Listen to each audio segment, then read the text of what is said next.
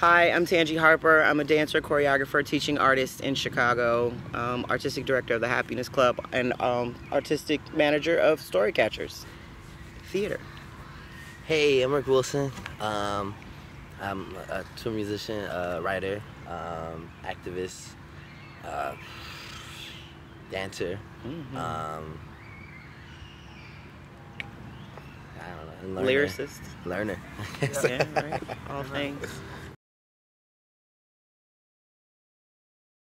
If you're going to teach it, you got to be open to learning about it. You mm-hmm. can't teach it if you're not open to learning about it. Yeah. And like, how big is it? Hip hop is a mosh pit of a whole bunch of different American music styles. You know, mm-hmm. it's got jazz in it. People borrow from country. Like the coldest producers thumb through records and find samples from all mm-hmm. different kinds of music. And so, being a music lover is a huge part of it because when it first started happening, my dad hated it. He was just like, they stole this from this. He was like telling me every record they took something from. But you know, as it grew and we get through the 90s, and a lot of it, like Q Tip is one of his favorites now because Q Tip is like a purist. Dude will go find the cleanest of the cleans of all the drum tracks he can find and manipulate it and turn it to something completely different. He's one of the rawest producers ever. There's a lot of them like that. Like um, Pete Rock is cold. Like it's a lot of DJs that have turned into producers based off of their ability to spin records the way that they could and mm-hmm. find those sounds. Mm-hmm. So that part of it too, that's another art, you know, that we don't want to get lost. Yeah. And that teacher should know about. And that teachers should, know, about. I will respect that it is youth driven. That means the new trends that come out mm-hmm. are coming from those young people, and that deserves respect too. So if you're going to be somebody that's a practitioner or somebody that's teaching it, you got to be willing to learn as much as you are willing to quote unquote teach. And if you don't know nothing about it, your whole approach to it has to be in conjunction with those students. Because A, you have to research and learn in order to teach them about the history of it, because you don't know it. And then in order to help them create and cultivate, you got to get into what they're into, which means you got to defer to them because you don't know what drill is. You don't know what they're talking about. You don't even know what the current slang is right now. So you have to become part student, part mm-hmm. research, part mentor, part collaborator in order to teach, especially if you're not coming straight from the culture. Like mm-hmm. all of those things are relative, Yeah, yeah. which I feel like is something you naturally do because you are an appreciator. You're not an appropriator. You never have been. So that comes naturally to you. So it's the same way in that you respect opera and you respect classical instruments. It's the same way you have to respect what hip hop is and that it's ever changing because whoever is coming up in the culture is going to change it. And they're going to borrow from what was old before and think it's new, but they're going to constantly be creating and changing it. And that's the respect part. Uh, I'm not I'm not against the whole there's so many things at your fingertips now with Google and documentaries and YouTubes and all of that. I think the more of that you can consume and even use it for teaching skills, like pulling up those videos and showing young Yeah. people those different things because there's so much stuff out here now that that is a wonderful resource. But as an educator, if you don't know the origin of hip hop, if you don't know, you know, what state gets the credit for that, if you don't even know that New York stole it from Jamaica and block parties, like if mm-hmm. you don't like little stuff, if you don't know the elements of hip hop, if you don't know the pioneers and like who kicked this whole thing off, should you be teaching?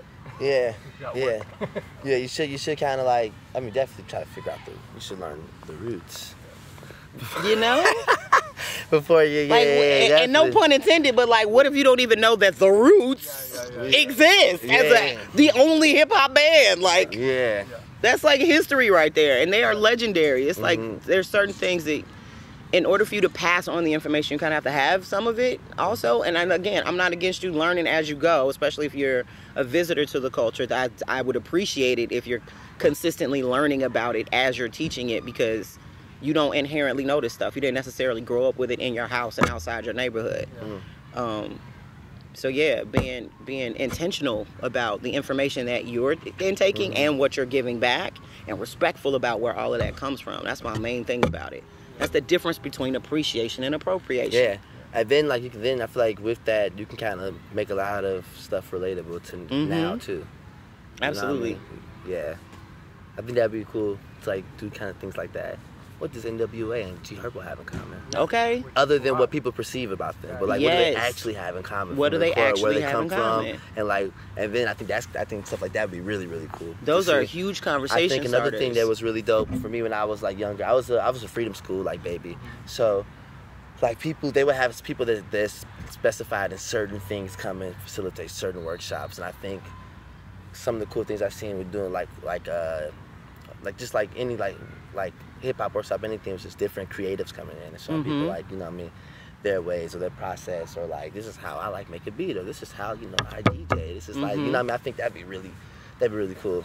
I mean and if you can just you know find people to do that the goodness of their heart or you know whatever but I think that'd be really cool. I wish I would have wish I was younger and, and saw somebody show me how to DJ you know what I Mhm. mean because I feel like maybe I might have been a DJ not not even been like a rapper that's an effective tool like teaching young people and showing them like working professionals doing what it is that they're interested in doing is tangible evidence that they can say do it too. exactly yeah. so that's the that's the rub on that. Like that's the same thing we did with after school matters. Like when i was there yes i was your main instructor and i'm teaching you dance primarily but every week i brought in a different guest instructor because i don't want you to just be good at dancing like me hmm which I have a thing, you know, like I have a style. Like after you dance with me for a little while, you know what I'm gonna do before I'm gonna do it. Like you know what I'm on. Like you know I'm gonna hit something. Yeah. But learning from other people makes you versatile. Like that means I can get in front of JC, I can get in front of Brandy, like I can get in front of anybody and learn from anybody.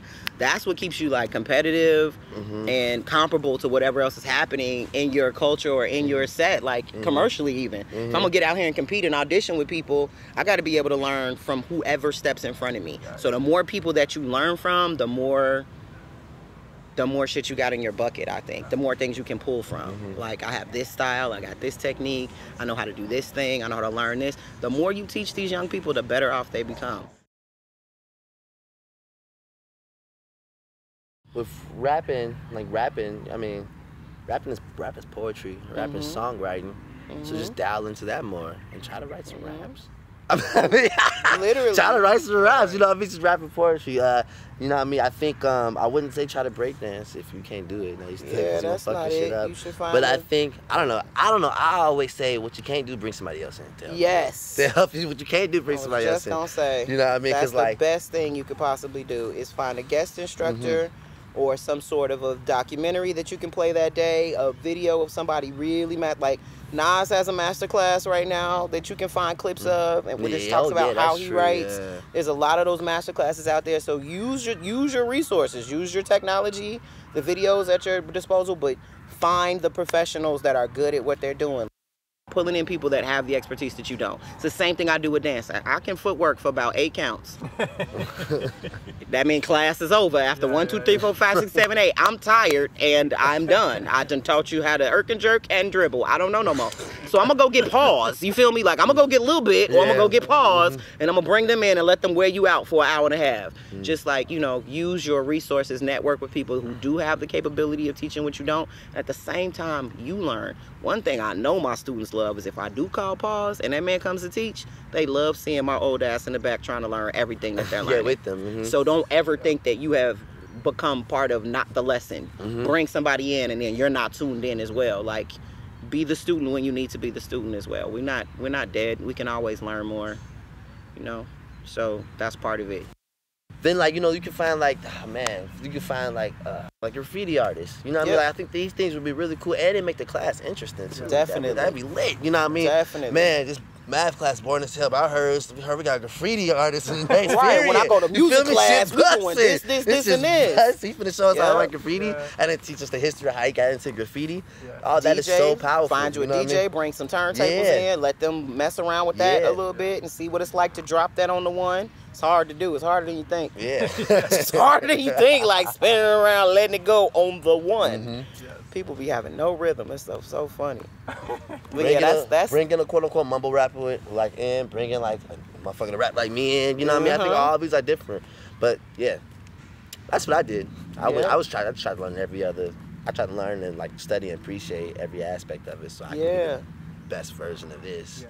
But yeah, yeah. So yeah, that'd be yeah my advice. Yeah, man.